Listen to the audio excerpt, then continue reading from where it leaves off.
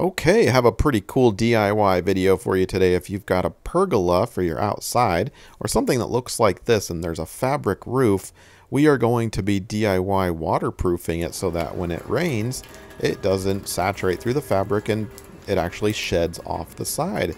Look at that. Amazing, right?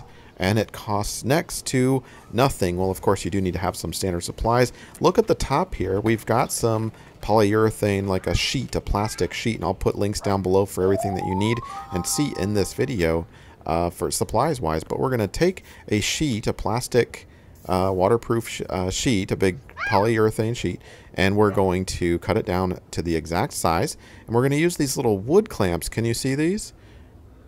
And we're just, and you can even get creative and use like clothespins, right? Or we'll see some in a minute, some other creative ways.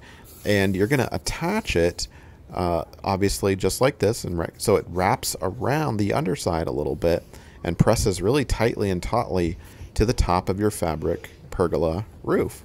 So it's fabric underneath, and on the top you can't see. And of course, you want to choose a plastic that's probably not black, maybe. You want it to be translucent, um, maybe even transparent. Uh, but this seems to work well. Here's uh, like a sewing pin that you could kind of push through to hold it.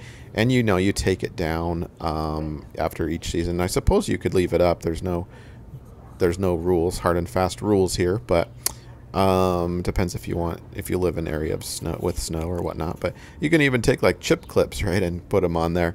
Obviously, you want to minimize the unsightliness. So, uh, but I think you know something like this would work just fine. And if you test it out with some water, you can see that it sheds water perfectly. It's uh, sloped down really well. And when it rains, it will just come over the side as opposed to, you know, like I said, saturating uh, the furniture underneath your pergola. So think about that. The supplies are pretty simple and very affordable way to waterproof your pergola. So thanks for, so much for joining me, and don't forget to subscribe for more do-it-yourself solutions like this.